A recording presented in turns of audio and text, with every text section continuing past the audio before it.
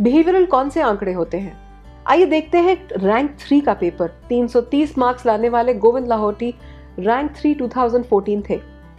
90 minute में पूरा paper पढ़ने के बाद उन्होंने पेपर अटेम्प्ट किया। अटेम्प्ट करने के बाद पहले वो सवाल उठाए जो उन्हें आते थे। एक बहुत ही हाई फ़र्स्ट लुक एक्यूरेसी के साथ उन्होंने पेपर दिया।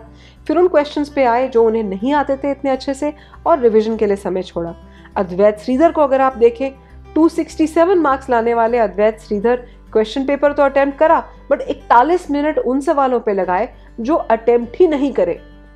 तो उनका एक्चुअल स्कोर दो घंटे और 19 मिनट में आया, बाकी समय सारे पेपर का वेस्ट हुआ।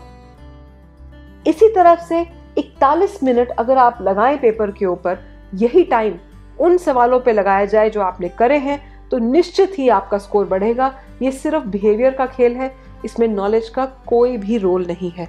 ओमकार सदरंगनी, जो 89 मार्क्स लेके आए इस टेस्ट में 75 से 105 के स्कोर पर जा पाए थे, केवल और केवल अपने बिहेवियर को चेंज करके।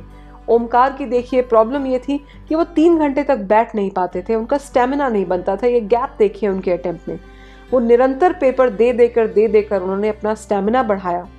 और तो और अगर आप उनके वेस्टेड अटेम्प्ट देखें केयरलेस मिस्टेक्स तो आप देखेंगे कि तुक्केबाजी में, जल्दबाजी में क्वेश्चंस करे उन्होंने 25 सेकंड लगाए किसी क्वेश्चन में 13 सेकंड लगाए, ये सारे बहुत टफ क्वेश्चन थे आईआईटी लेवल के क्वेश्चन थे और दो दो सेकंड के अंदर उन्होंने पेपर अटैम्प्ट किया।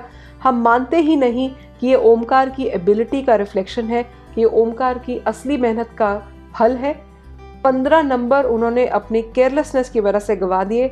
अगर वो पंद्रह नंबर उनके टोटल में जोड़े जाते तो 105 का स्कोर बनता, जो वाकई दो हफ़्ते बाद होने वाले उनके जेई मेन्स के पेपर में उनके फाइनल मार्क्स थे। महज टेस्ट टेकिंग स्किल्स को इम्प्रूव करके बच्चे का स्कोर बढ़ सकता है।